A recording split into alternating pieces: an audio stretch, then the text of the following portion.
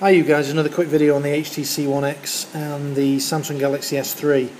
Uh, since the over-the-air update uh, started rolling out on Friday, a few people have been asking uh, about the frames per second on the video recording on the HTC One X. I've taken a few quick videos, they're nothing spectacular, uh, and we're going to try and uh, see what sort of frame rates we get. Both videos shot in uh, full 1080p both about 35-40 seconds long so we're just going to give them a whirl and just see uh, how we get on. This first is the uh, video shot on the HTC One X. Uh, you can see it's just a basic landscape uh, video around and about. Uh, don't look at my video and skills, the uh, purpose of this video is just purely for the frames per second frame rate. So I'm not looking for any awards for video in this, it's just a quick video I took similarly in both phones. So we'll let the uh, HTC One X finish first.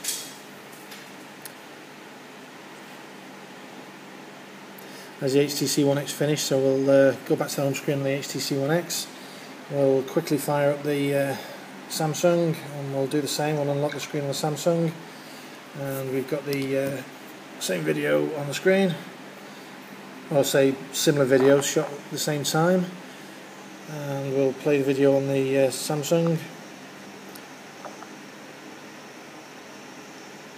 I say don't look at my video and skills there, it's purely to uh, get the frame rates. Uh, purposely moving the, uh, both phones around quite quickly uh, to see if the uh, frame rates stutter or uh, we get a different impression when we do the test in a minute.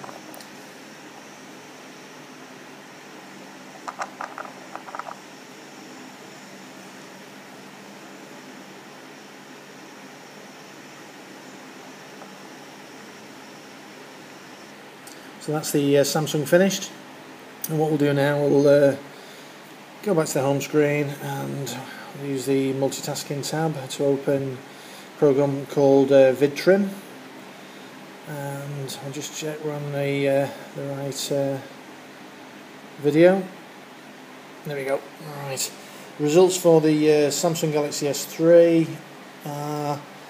picture size 1920 1080p file size 81 megabytes frame rate uh, 29.94 frames per second.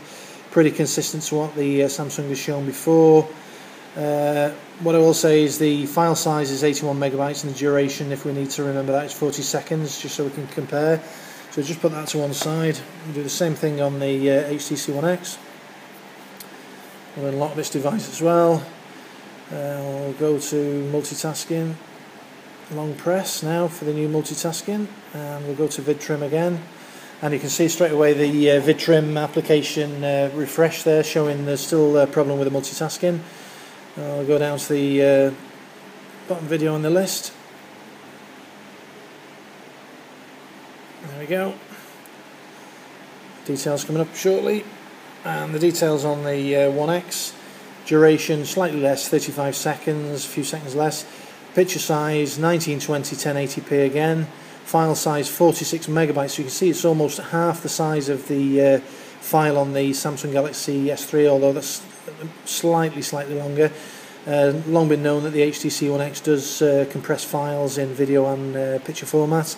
But the uh, big thing that we want to look at is the frame rates per second underneath is 23.62, which basically shows us since the uh, international update on the HTC One X, uh, the frame rate on the video camera still remains uh, well under 30 frames per second and uh, has not been addressed in the update. So, a few things have been addressed in the update. The uh, phone itself very, very quick. Quadrant scores very, very high. Uh, highest I've had is 6,100 on quadrant. Absolutely blistering speeds.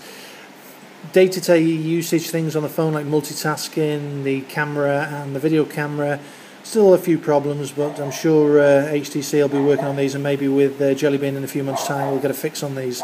Anyway, please leave comments below, give me a thumbs up and subscribe, and I'll get more videos out in the near future. Thanks for watching. Bye.